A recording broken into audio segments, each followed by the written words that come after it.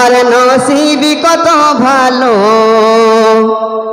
কি করে বোঝাই বলো? আমার নসিবি কত ভালো? কি করে বোঝাই বলো? শেষ নবীর উম্মত যে হলাম আবার দাদা হুজুরকে পেল, মন ভরে গেল।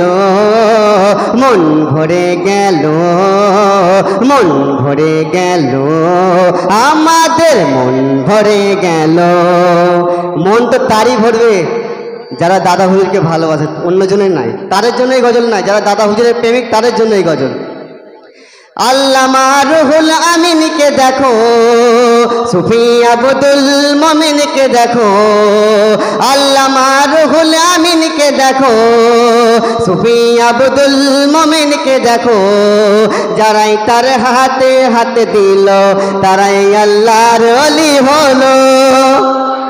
চিল্ল হবে না শোভন আল্লাহ আরে পাশে আমাদের বাঁকুল শরীফে শুয়ে আছে যার নাম ছিল প্রতাপ চন্দ্র সেন।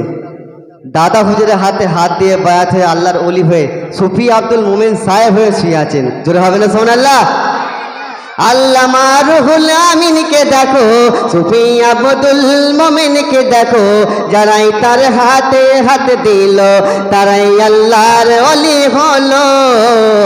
মন ভরে গেল, মন ভরে গেল, মন ভরে গেল, আমাদের মন ভরে গেল। এ বাংলায় দিনই প্রচার করিতে কোন নবী আসেনি।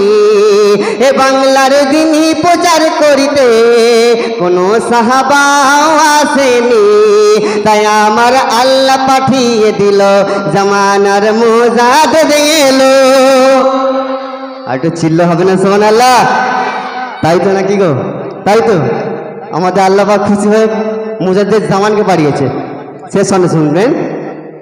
দাদা পীর কেমন পীর ছিল, কেমন নবীকে প্রেম করেছিল।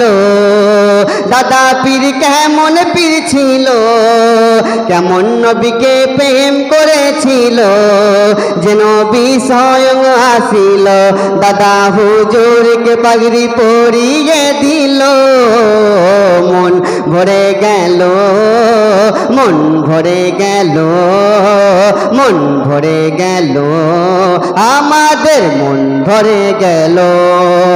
শেষ ছন্দে শুনবেন।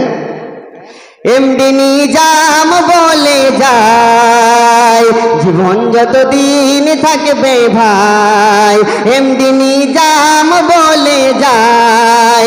জীবন যতদিন থাকবে ভাই, কলম আমার চালিয়ে যাব, ভালোবাসি, বাসব ভালো।